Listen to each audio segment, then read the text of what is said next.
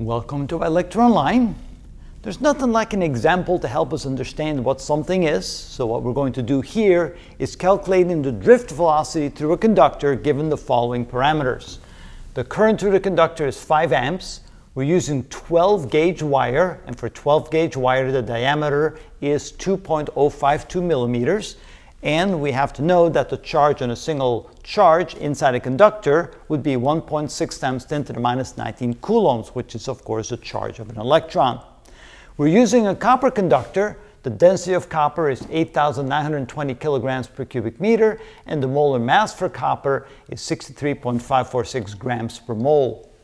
So here we have the equation that we found on the previous video that the current, which is equal to dq dt, is equal to the number of carriers per unit volume, the charge on each carrier, the drift velocity, and the cross-sectional area of the wire. So if we solve that equation for the drift velocity, it is equal to the current divided by nqa. So what we have to do here is figure out what n is equal to. We know q, q would be the uh, charge on each carrier, and yes, there's only going to be one carrier per atom because in copper, there's only one free electron that can move around. And then we have to calculate the cross-sectional area using the diameter of the wire here. So how do we find the number of carriers, the number of charges per cubic meter in a copper wire that are allowed to be moved when we have a potential difference across the wire? Well, that means we need to calculate the number of charges per mole. And we multiply this times the number of moles per kilogram of copper.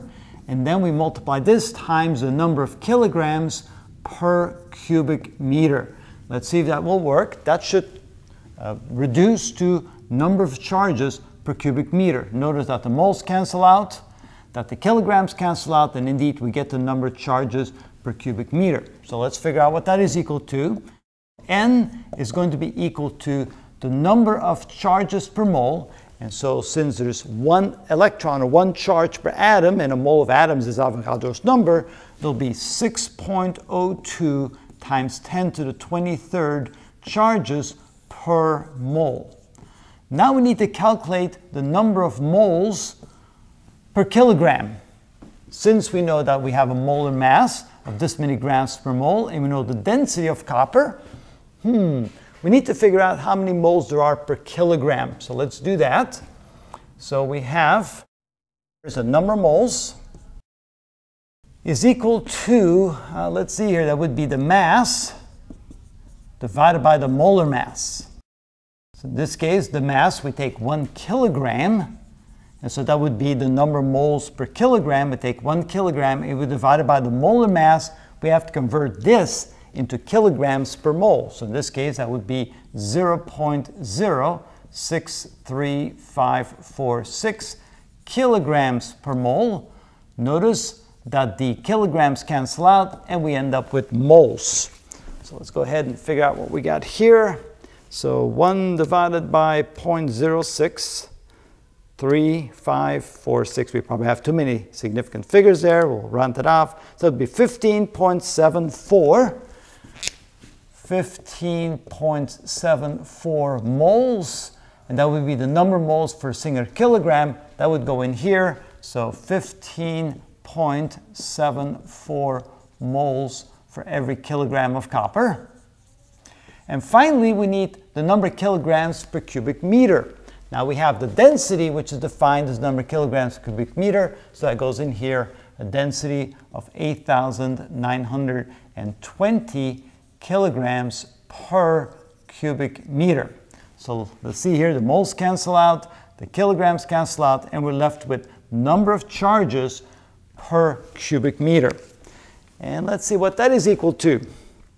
So end up with 6.02 e to the 23rd, that's Avogadro's number, times 15.74 moles of copper per kilogram, times 8,920, which is the density of copper, and we end up with 8.45 times 10 to the 28.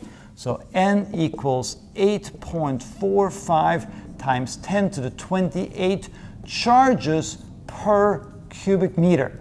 And so this is what it is for copper. Of course, different metals will have a different number of carriers per cubic meter.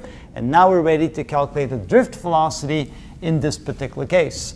So we can say that the drift velocity, which is equal to the current divided by n times the charge per carrier times A is going to be equal to, we have a current of 5 amps, divided by the number of charges per cubic meter, which is right here, 8.45 times 10 to the 28. That would be charges per cubic meter. We're going to multiply that times the charge of each charge, which is 1.6, uh, well, 1.6 times 10 to the minus 19 coulombs. And then we have the cross-sectional area, which would be pi times r squared. Now, r would be half the diameter, so we have to divide that by 2.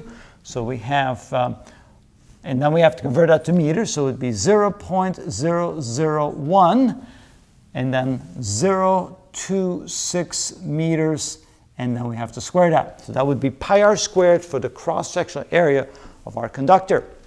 So that gives us 5 divided by 8.45 e to the 28 divided by 1.6 e to the 19 minus and divide by pi and divide by 0.001026 squared equals, and there it is, 1.12 basically. We, so be V sub D is equal to 1.12 times 10 to the minus 4 meters. When we convert that to millimeters, oh, that would be meters per second. I'm sorry, it's velocity. So this would be equal to 0.112 millimeters per second. Now let me quickly check that calculation again. So we have 5 divided by 8.45 e to the 28 divided by 1.6 e to the 19 minus divide by pi and divide by 0.001026 squared equals 1.12 times 10 to the minus 4. So it's about a tenth of a millimeter per second. So even though we have a current of 5 amps, which is a significant current through a very big wire, we still have a very, very, very slow velocity. So about 10 seconds to go a centimeter, about 100 seconds to go 10 centimeters, 1,000 seconds. So we're talking about many minutes just to cover a distance of one meter in a wire. So you can see that drift velocity is actually a very small quantity. Charges are moving, they're bumping all around, massive quantities of charges are moving, but they're moving at a very, very slow speed along the conductor, even though they're quite moving quite fast within the conductor itself. And that's what we mean by drift velocity.